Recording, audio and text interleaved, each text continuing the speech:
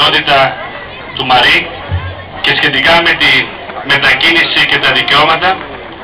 μέσα σε αυτό το πνεύμα συνεργασίας και συναντήληψης μπορέσαμε να καταφέρουμε